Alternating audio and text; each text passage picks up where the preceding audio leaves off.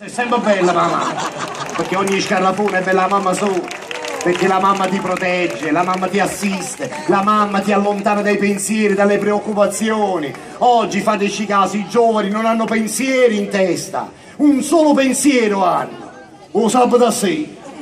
Andare in discoteca e ne a ballare, esce in sette la mattina che a capo come un pallone.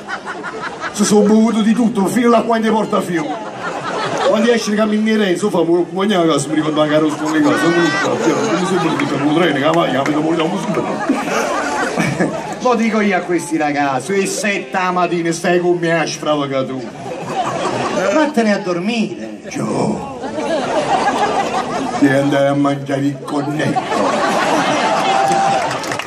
Ma che sta mo di sto cornetto? E trovi sette la mattina fuori il cornetto e ti rompono all'erta così Parlano i zombie quando, quando cammino. Arrivano fuori la cornetteria a bocca già aperta.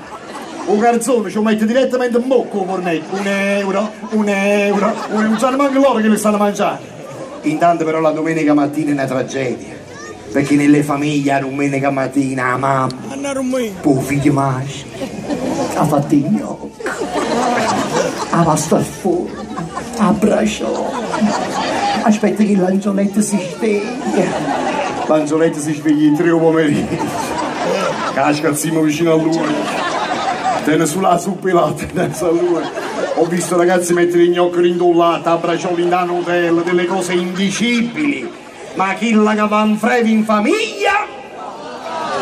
Lo fa tuo padre, quest'uomo d'altri tempi, un uomo che ha fatto i sacrifici, un uomo che si è costruito da solo, un uomo con una mentalità completamente opposta a questa nuova generazione, un uomo che veramente si è sacrificato per la famiglia, non riesce a concepire che hanno figli a 40 anni e domenica pomeriggio e tre ore, sei stato con i rindorato con pigiamina a tutti in Walt Disney che Topolino azzeccato vicino, oh oh padre non si riesce a capacitare, tu si na chiave, tu stai che tu te ne